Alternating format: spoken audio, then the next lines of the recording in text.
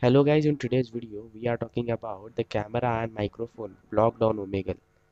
So how we can solve this problem about that we are talking in today's video. Actually I have made the video before but most of the people are facing the same problem and uh, they don't know the English so they said me the comments to make the video in English so that is the reason I'm making the another video.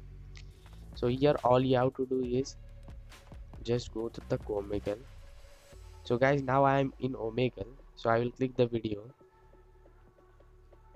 Now i will able to see the camera blocked on omegle. To solve this problem you have to go through the settings of your mobile device. So i will go to the settings of my device.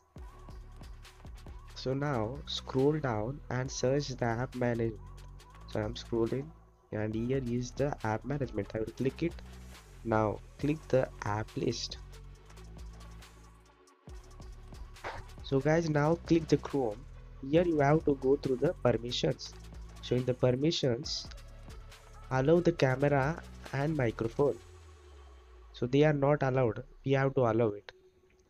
So to allow it click the camera and click on allow only while using the app and come back. Now do the same thing with the microphone. Click the microphone. Allow only while using the app. Click it and come back. So now we allowed the microphone and camera. So guys after completing these steps your problem will be solved. So now my problem has been solved. So i will show you here. Click the video and i will allow it. So when i scroll it so now i will not able to see any camera blocked issues.